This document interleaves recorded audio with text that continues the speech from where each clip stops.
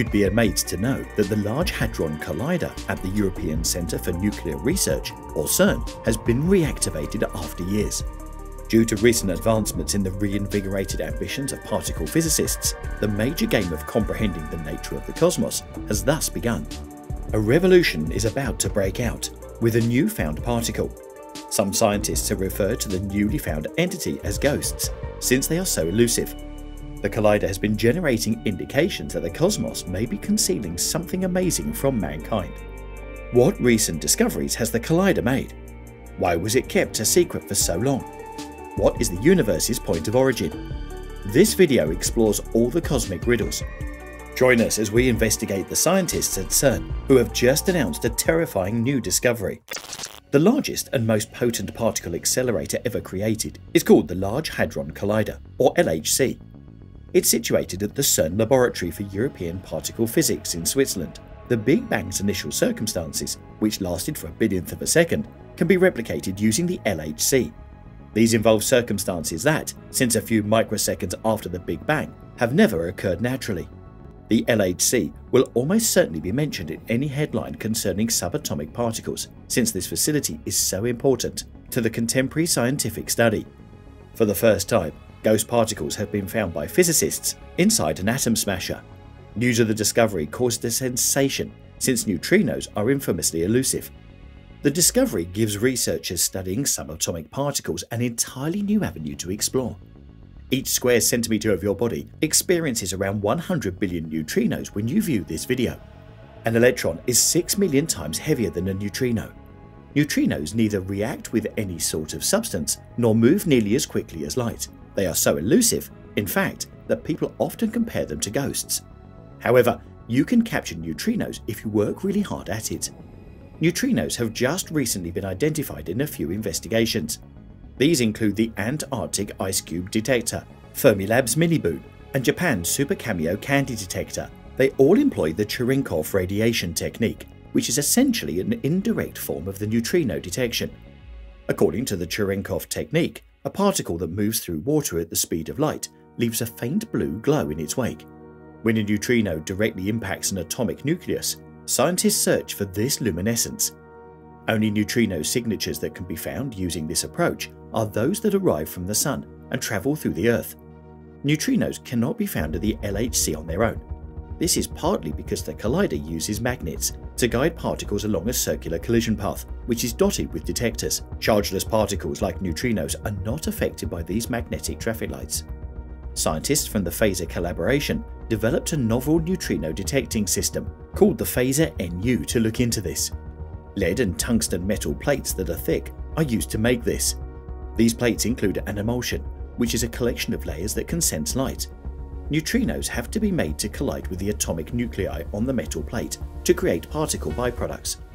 As they travel through emulsion layers, a reaction between the byproducts of the emulsion and the neutrino stamps the particle shape. The researchers discovered that some of the markings were created during this process. Compared to earlier attempts, Phaser NU was superior in many aspects. For instance, 50,000 tons of water are needed to produce Super Kamio sweets. FASERν, in comparison, just requires 29 kilograms. Additionally, it was constructed with scrap metals. Neutrino comes in three different types. The hardest to find and rarest neutrinos are tau particles. FASERν is capable of detecting many types of neutrinos, and it can also tell neutrinos from antineutrinos apart. This is when things start to get interesting. Neutrinos having the opposite charge are called antineutrinos. But wait, how's that possible? Neutrinos don't possess a charge. So, isn't it a point of contradiction? In fact, the opposing charge represents the lepton number of the neutron, a type of quantum number used to define the characteristics of subatomic particles. Neither neutrinos or antineutrinos have any electromagnetic charge. Scientists still don't have all the answers to many questions regarding neutrinos. They are unsure of a specific difference between a neutrino and antineutrino. For instance, FASERν, however, will assist them in learning more about neutrinos. The FASERν team would spend 2022 pursuing and catching 10,000 neutrons or more. Some of these questions' solutions will aid in addressing issues like the origin of matter and the reason why so much of it is dark. For a better understanding of this, we need to talk about supernovas. You might think that researchers looking at supernovas would be looking up at the sky. But here comes the twist. They are searching for answers in trees as a result of the query for more about supernovas. They are looking for traces of previous supernovas in tree rings. But how are trees on Earth related to supernovas that happened billions of kilometres away and billions of years ago? Supernovas are rare events in the universe, which occur when a star passes away dramatically. The most recent one in history happened more than 400 years ago, and there have allegedly been four supernovae near enough to Earth during the past 50,000 years. Finding signs of star deaths in trees is what scientists are attempting to achieve. But what's the game plan of researchers to cultivate this? The amount of carbon 14, often known as radiocarbon, a radioactive isotope of carbon, is the key indicator. Radiocarbon is present on Earth in extremely low concentrations. Cosmic rays from space are constantly bombarding the high atmosphere, where radiocarbon is generated. When cosmic rays penetrate the atmosphere, they combine with local nitrogen atoms to start a nuclear process.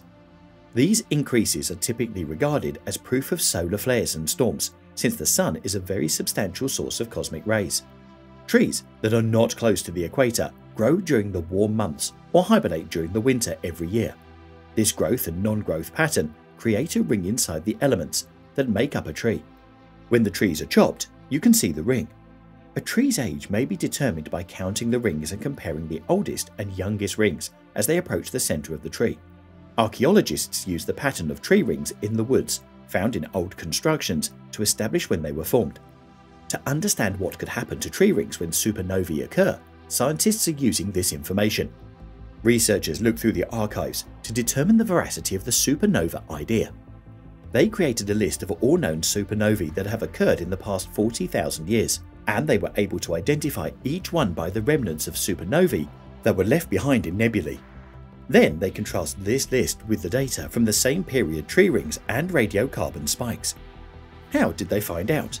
Well, it appears that the radiocarbon spikes from eight supernovas nearest to the planet have matching periods.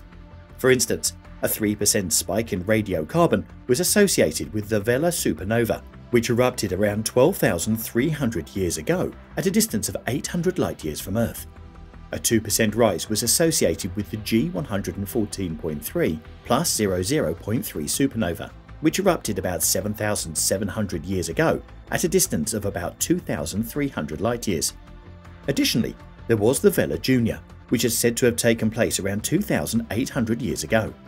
The planet saw a radiocarbon spike of 1.4% at that time. Additionally, they discovered supernova HB9, which occurred between 1,000 and 4,000 light years away, or around 5,400 years ago. This one coincided with a 0.8% increase in radiocarbon concentrations. Scientists are hopeful that the tree rings approach will enable them to accurately determine the time of numerous supernovas that have proven challenging to date to confirm the Brakenridge's discovery. Additionally, they will learn more about how stars erupt. So, what's your takeaway from all these? What do you think about the origin of the universe? Drop your thoughts in the comment box below.